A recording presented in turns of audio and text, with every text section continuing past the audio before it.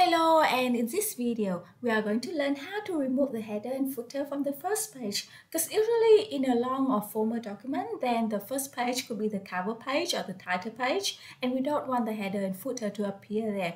We want the header and footer to appear from the second page onwards. Okay, so there are a few ways that this can be done in Word, but let me show you uh, my favorite method and it's probably the easiest and quickest as well.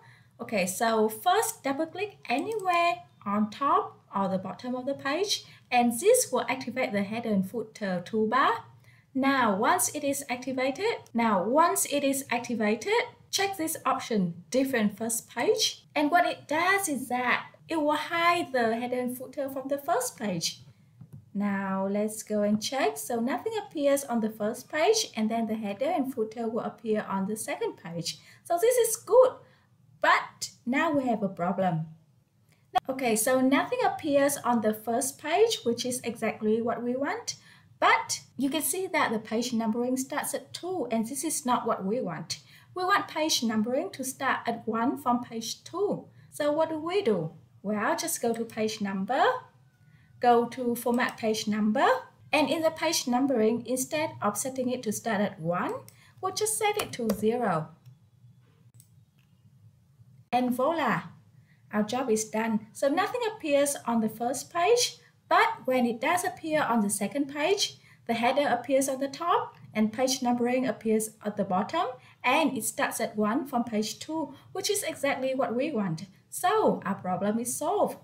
Now, many of you might be wondering, is it possible to remove header and footer from the first and the second page?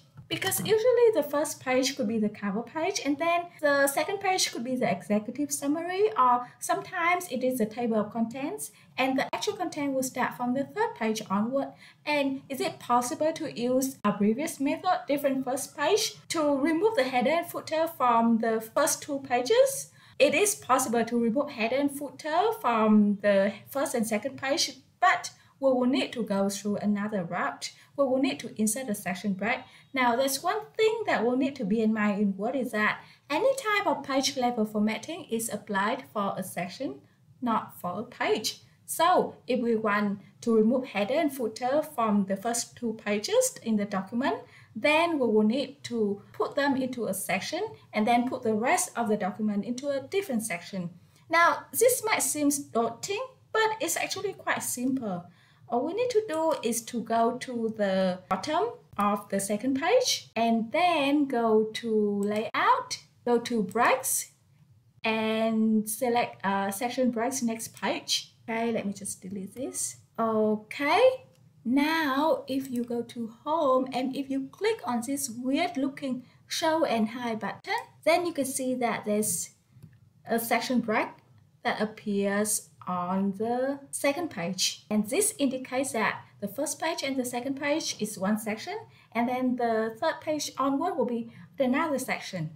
Okay, so now we can start page numbering and header and footer. So double click on top on the bottom of the page to activate the header and footer toolbar. The default is that the header and footer for the second section will take on the formatting of the first section, but we don't want that in this case. So let's turn off the same as previous. So turn off the link to previous. And again, so turn off the link to previous. Okay, and now all we need to do is to click on anywhere on the first or on the second page header and then select remove header. And again, click anywhere on the first or the second page footer Go to footer and select remove footer. Now it will work probably. So you can see that nothing appears on the first and second page. And then the header and footer will appear from the third page onwards. And the page numbering will start at 1 from the third page, which is exactly what we want. So that's it for now. Happy learning and see you in the next video.